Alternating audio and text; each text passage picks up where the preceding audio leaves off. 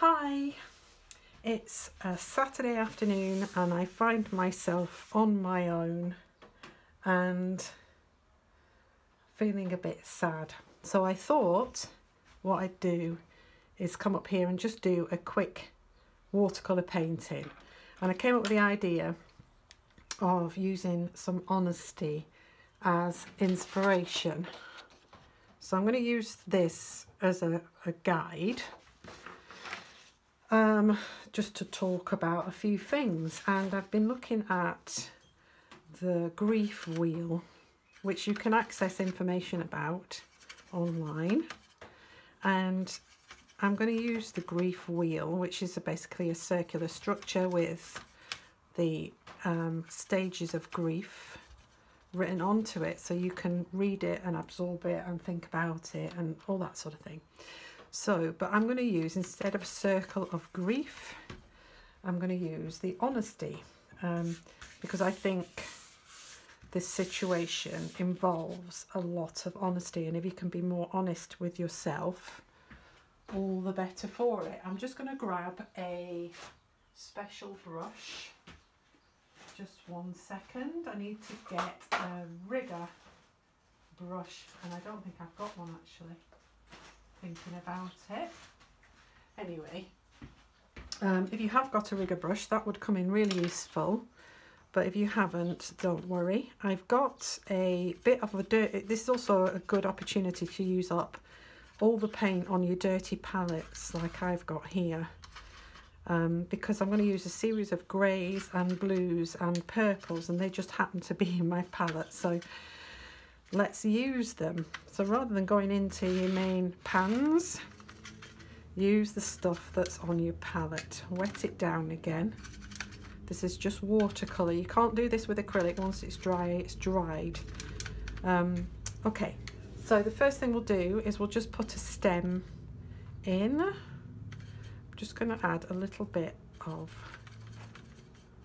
black into that. Okay, so I'm just going to do a central stem and if you press with the whole length of the brush I hope you can see that you'll get a thicker stem down the bottom. And then if you start to lift up your brush so it's more vertical like this you'll find that the brush stroke becomes thinner. So the more you lift it the thinner because you're not using the whole length of the hair you see so that will give you a finer tip, as you can see with that. Okay, and then we've got various projections off of each side of the stem. So I'm using a finer detail brush for this because I want them to be fine, but I'm using it in the same process, pressing with the whole length of the brush at the where it connects to the stem. And then as I come outwards, I'm going to lift so that the line becomes thinner.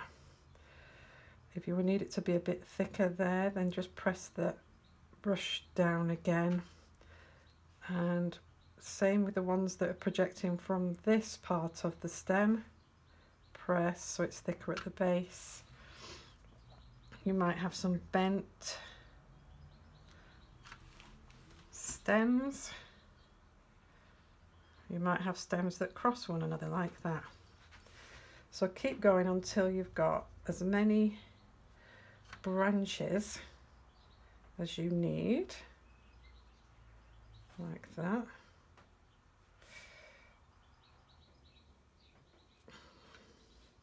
Do some on this side as well. Ideally twist your work, but if you're like me and you've got it stuck down, then just, oops, that's a bit thick never mind. Let's put a thicker stem there then. So if you've made it a bit thick you can always go back in and thicken that stem up all the way down. And then again thicken that bit. Needs to be a bit thicker at the base I think. Like that okay. And then some more projections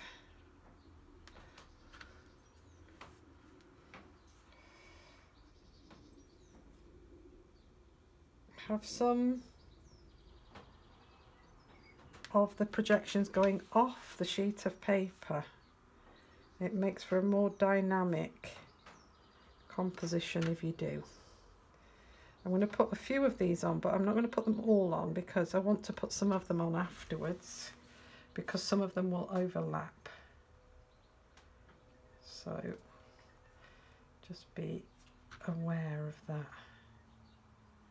So I'm just doing the, the stem bits. Okay, so the next thing, so you've created almost like a tree really. The next thing is to do the circles. So for that, you need quite a lot of paint. You might want to mix in a bit of purple or a bit of green or a bit of blue, but essentially it's a tinted grey colour. You might vary those colours, put a bit of green in there maybe, but make sure that you add a bit of black into it to darken it up. That's that purple pinky colour there. So we've got a sort of pinky colour, a greeny colour and a grey colour. And we might use them all. So now it's just a matter of building up some circles on the ends of these stems. So just paint in your circles. You can only see the bottom of that one. Maybe pick up a different colour. Just put the circles down. They will vary in shape and size so don't worry too much about the shapes that you're creating. As long as they're sort of oval circular shapes we won't go far wrong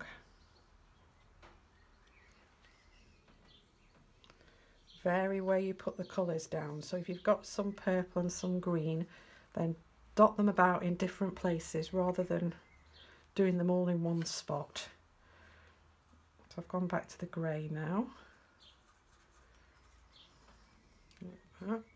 Maybe have some that are slightly on the side, so they would be more that shape.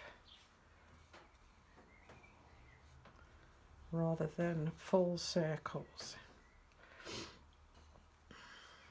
Mm.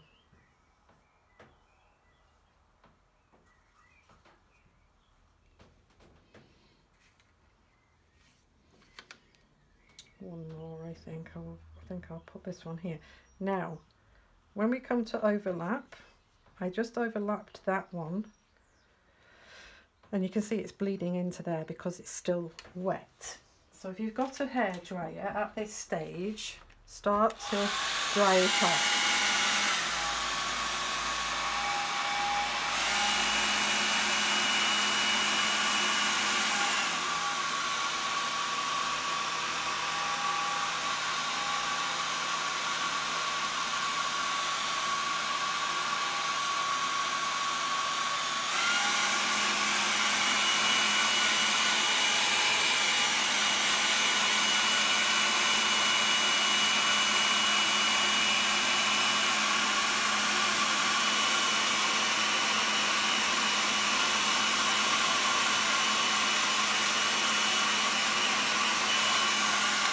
Okay, so once they become a little bit drier,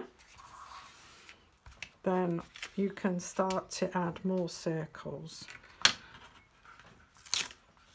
just going to re-stick that. The, um, the heat tends to release the masking tape. Okay, so back in with your other colours. Go to the areas that are a bit darker. Now, first of all, what you do need to do is you need to add more stems. So take that colour that you mixed and add in the odd stem.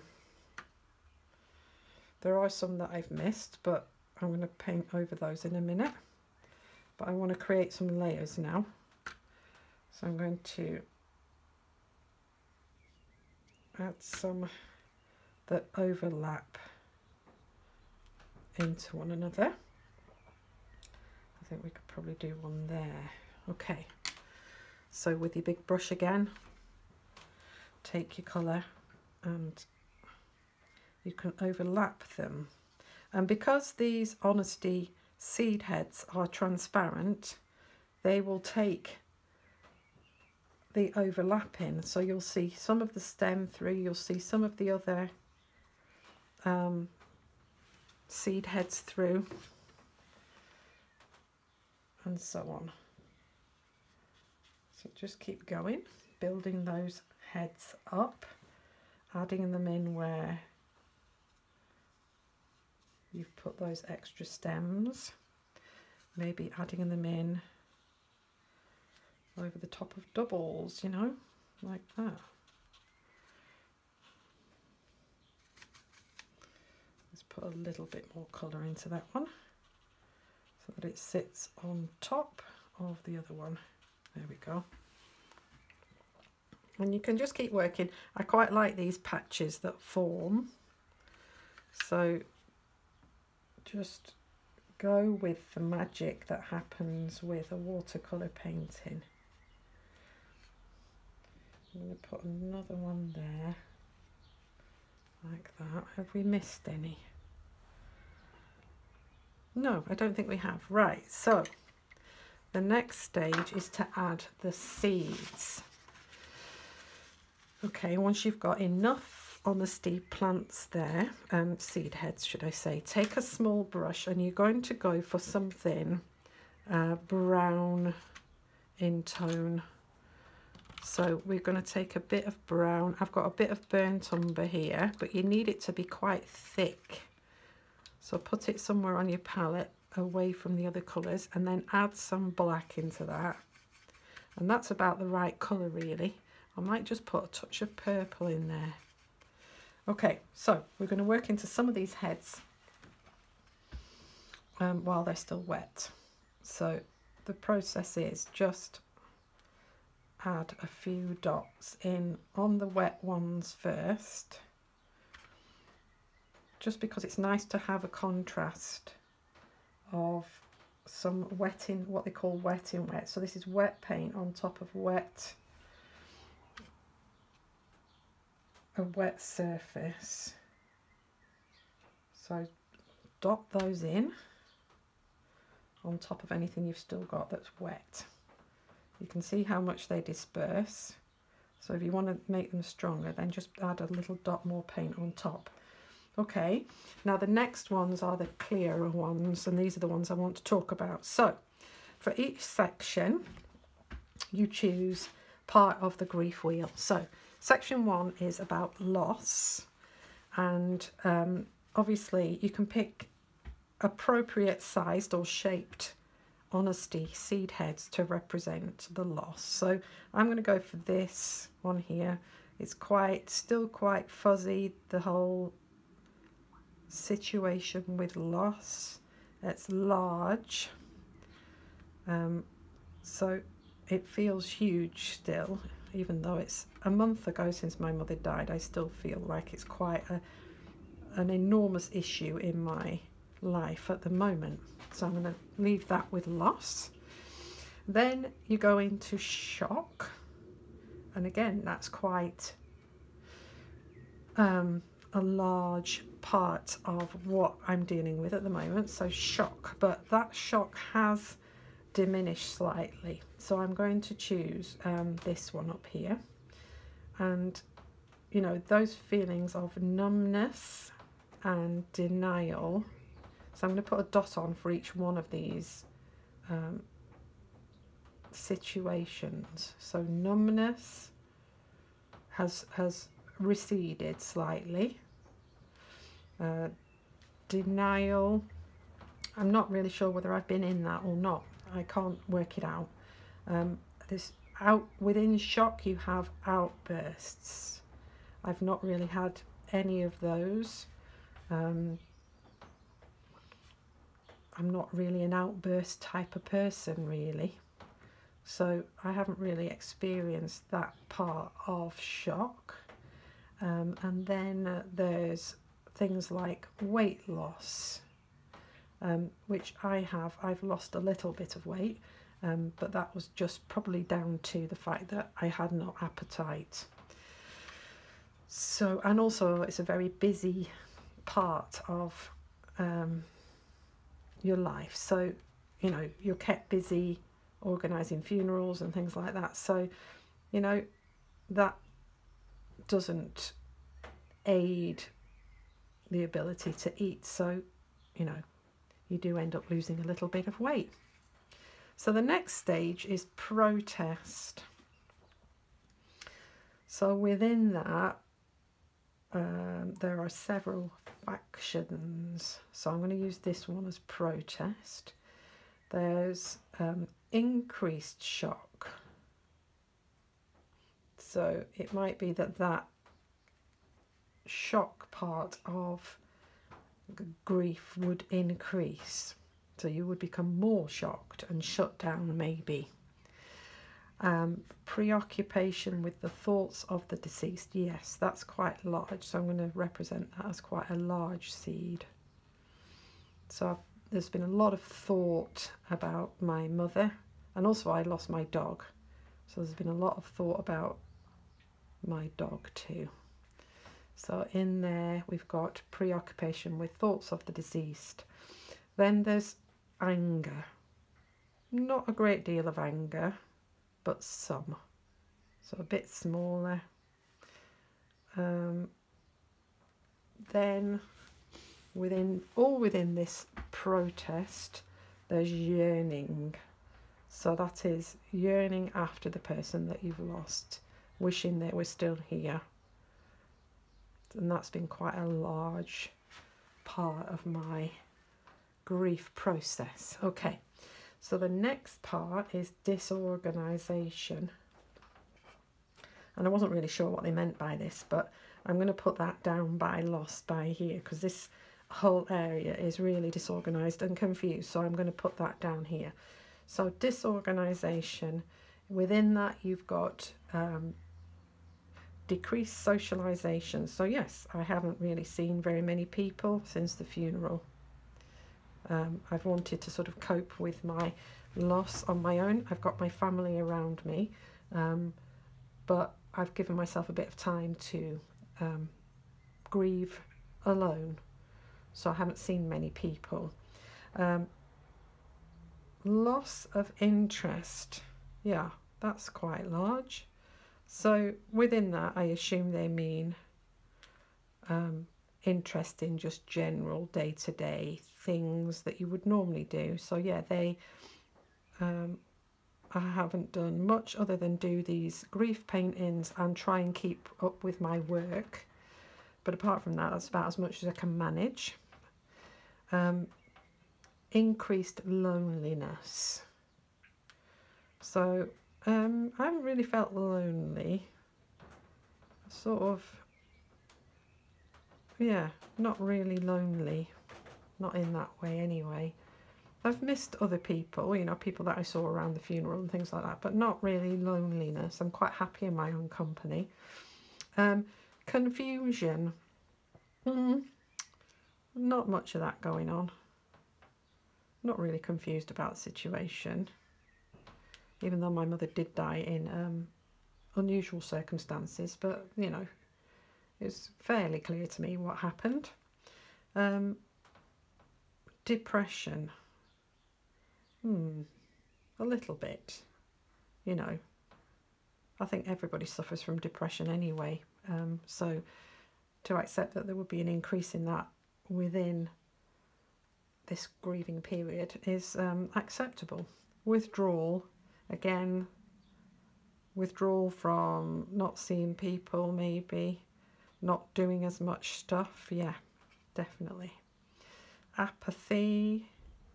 Yeah, things that are very normal day to day probably don't see as seem as important as they normally would do.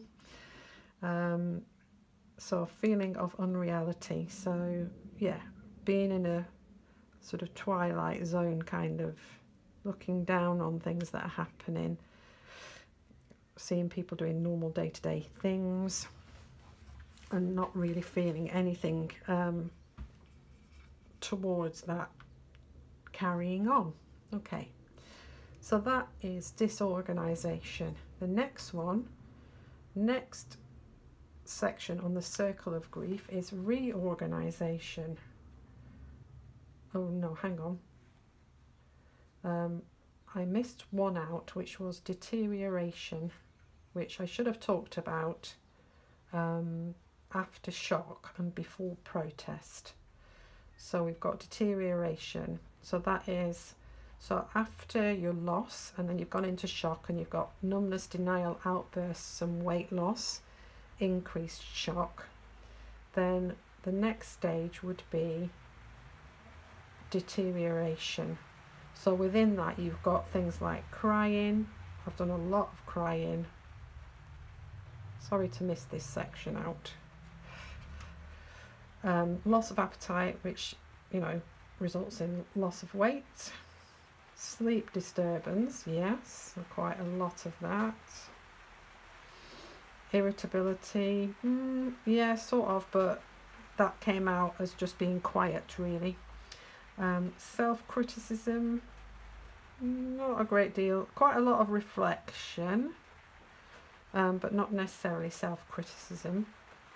Guilt, guilt about not being able to spend enough time, especially over the COVID situation. Um, and they said within that you've got physical symptoms. So I'm going to I'm going to put this in a different um, section. So I'm going to put this over here. Um, physical symptoms, hyperventilate, uh, hyperventilating. So hyperventilation, difficulty swallowing. Um, not really had much of that, so quite small. Difficulty breathing, yeah, a few patches of sort of semi-anxiety. Um, swearing, mm, yeah, quite a lot. But mainly in humour, because there's a lot of humour surrounding death. Um, nausea and vomiting. A little bit of nausea causing the lack of appetite, but not any vomiting. so here we go. Back to, so we went from deterioration to protest, um, which was down here, uh, disorganization.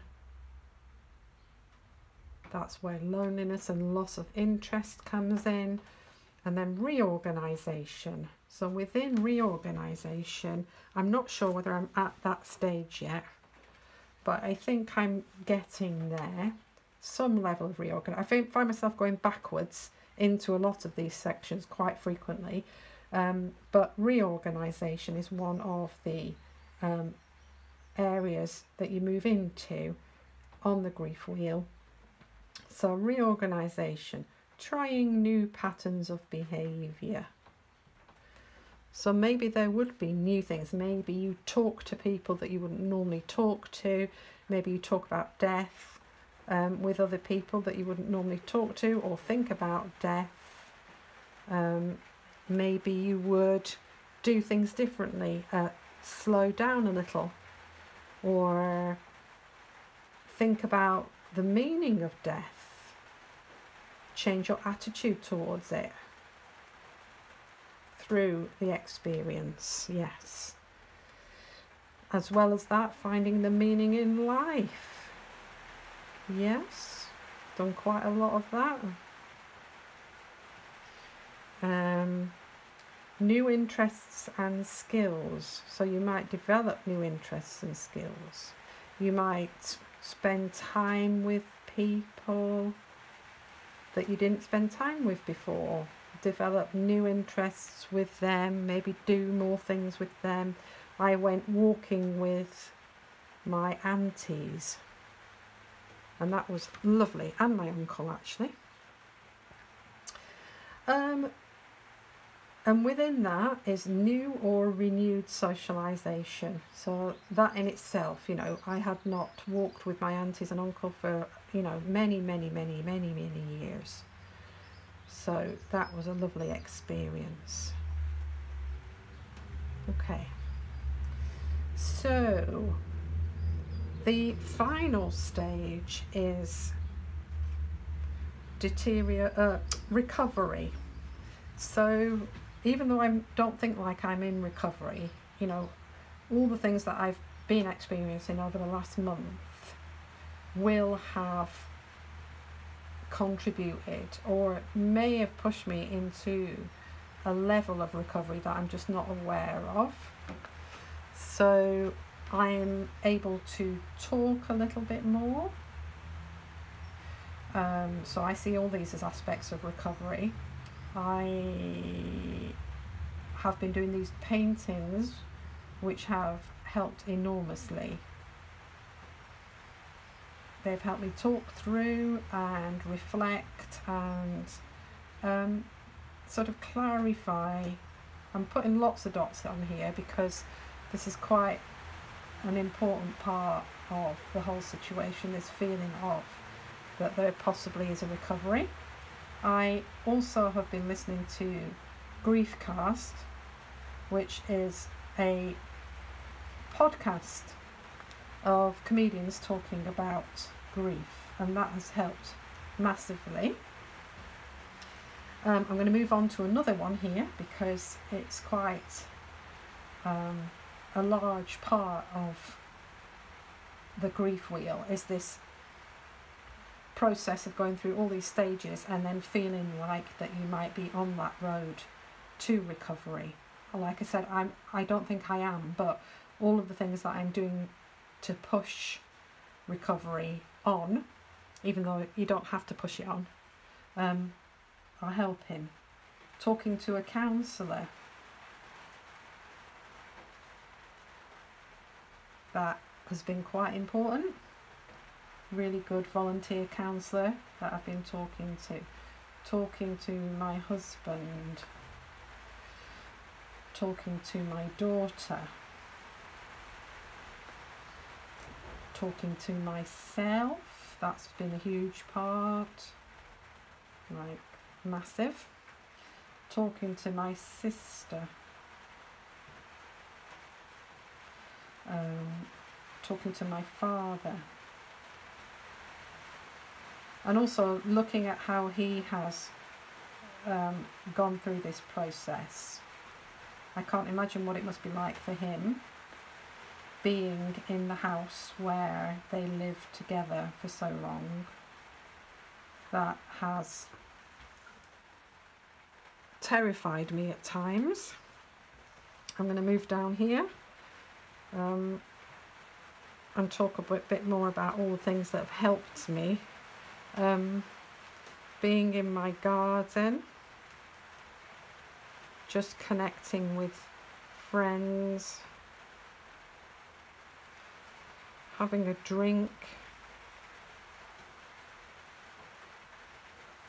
I mean, it's just started raining. You can hear it in the background. And just listening to sounds around you bird song seeing that spring is moving along very nicely. Thank you very much. That the world is carrying on growing living dying. The birds are making their nests. And these these spots are quite random. Um, but you know just let them be random let them be different thicknesses different sizes different shapes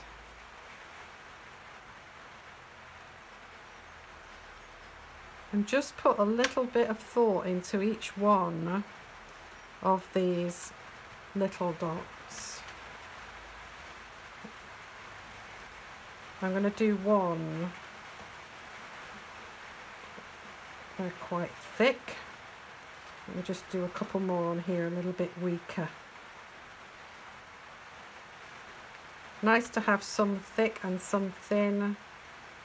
Just going to put a couple of dots on there. I'm going to dedicate one of these seed heads to my mum and I'm going to talk about memory. So let's do this one here. So it's been nice to think about mum and all the things that she loved.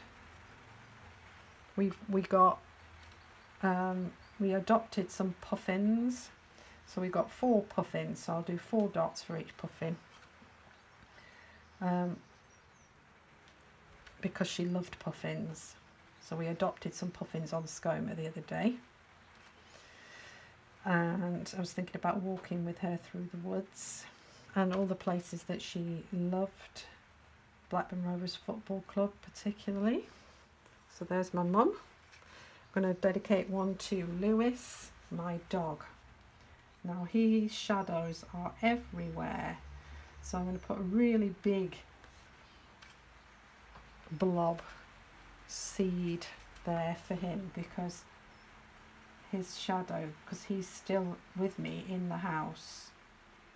And that has been, that doesn't seem to be waving at all, which is quite difficult. I went on my first walk today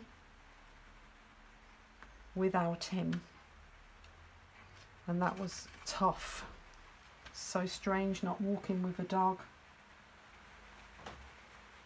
and all the memories that come with him.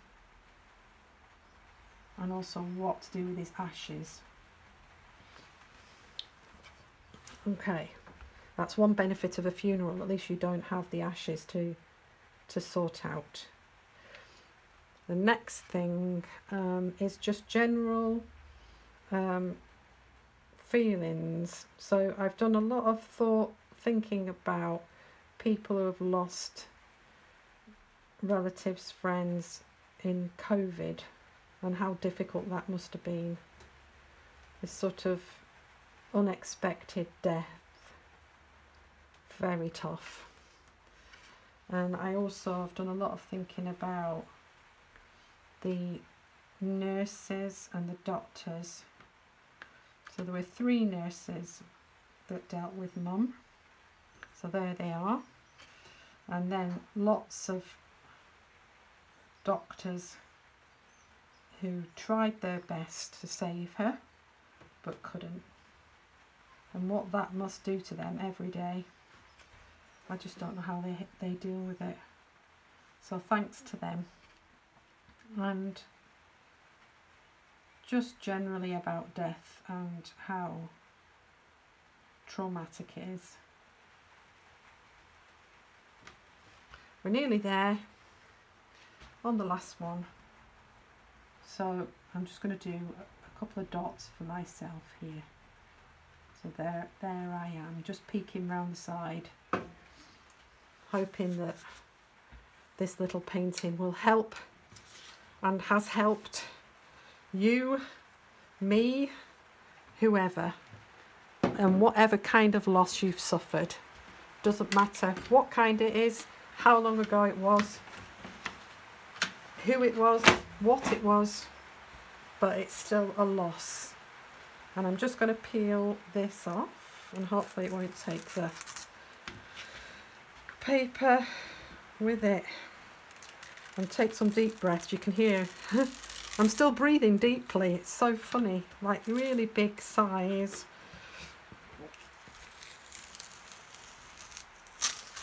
There we go. So those my remembrance, grief wheel, honesty plant. I hope you like it have a go. It's a really nice little painting to do. Quite abstract but beautiful. And, you know, hold yourself, hold your loved ones, hold your friends. Keep them all close and value them. Hope you feel better doing this and I will see you next time. Bye for now.